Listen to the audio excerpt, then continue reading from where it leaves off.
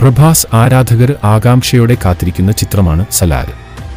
K G F ഒരുക്കിയ പ്രശാന്ത് നീലിന്റെ ചിത്രം സലാർ പ്രഭാസിന് നിർണായകമാണ്.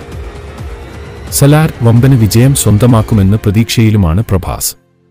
സലാറിന്റെ ക്ലൈമാക്സിനെ കുറിച്ചുള്ള അപ്ഡേറ്റ് പുറത്തു വന്നിരിക്കുകയാണ് ഇപ്പോൾ. സലാർ എന്ന ചിത്രത്തിന്റെ ചിത്രീകരണം വളരെ പെട്ടെന്ന് തന്നെ പൂർത്തീകരിക്കാനുള്ള ശ്രമത്തിലാണ് സംവിധായകൻ പ്രശാന്ത് നീൽ.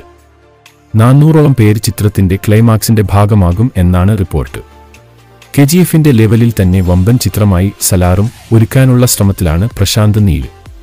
പ്രഭാസ് നെഗറ്റീവ് ഷെയ്ഡുള്ള ഒരു കഥാപാത്രമായിട്ടായിരിക്കും എത്തുകയെന്നാണ് റിപ്പോർട്ട്. ശ്രുതി ഹാസൻ ചിത്രത്തിൽ നായികയാകുന്നു. കെ ജി എഫ് എന്ന ചിത്രത്തിന്റെ ബാനറായ ഹൊമ്പാളെ ഫിലിംസിന്റെ വിജയ് കിരങ്കന്തുറാണ് സലാർ നിർമ്മിക്കുന്നത്. മധു ഗുരുസ്വാമിയാണ് ചിത്രത്തിൽ പ്രതിനായക വേഷത്തിൽ എത്തുന്നത്. പൃഥ്വിരാജും പ്രധാനപ്പെട്ട ഒരു വേഷത്തിൽ ചിത്രത്തിൽ എത്തുന്നു.